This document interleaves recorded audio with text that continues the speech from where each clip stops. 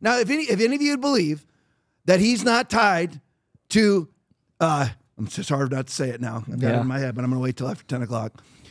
To the Harris Walz campaign.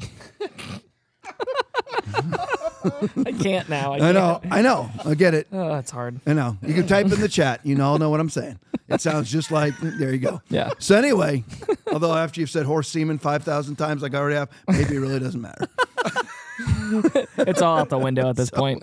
It's gone. It's over. So the so the Harry Balls campaign, it's already over. it's over.